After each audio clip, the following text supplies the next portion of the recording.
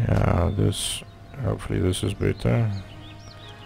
Like that, okay, so once the little girl had the cheese, uh, then she started, she wanted to make cheesecake, so, but she didn't have the ingredients for the cake, so then she, uh, then she had to go back and go buy the cake ingredients, but the cake ingredients included milk, which she, they didn't have. So instead she asked him, hey, well, can't I just buy a cow then, you know, maybe you have a cow so I can milk the cow. And then they said, well, you're fortunate. We have a, we have a draw for a lotto draw. Maybe uh, you can win a cow, so maybe you should uh, try that instead.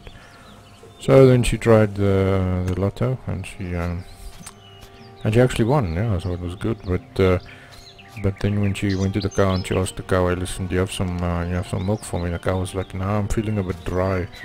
Maybe if you can go get me some, you know, some grass, some nice grass to go eat. That would be, that would be nice. Um, and then, then maybe I can think about getting some milk for you. So then she had to go find some grass again, but uh, it was the the dry season, so there wasn't any grass, so she couldn't give any grass to the um, to, to, the cow to go get the milk, you know, so that the cow couldn't make any milk. So that was sort of a problem. And so she she went back to the cow and asked the cow, "Hey, listen, do you maybe maybe we can give you something else instead of grass?"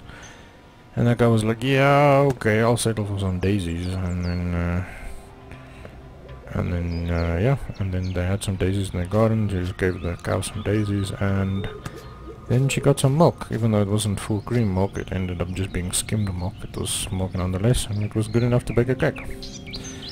And they all ate the cake, including the cow, and everyone was very happy. Okay, the end.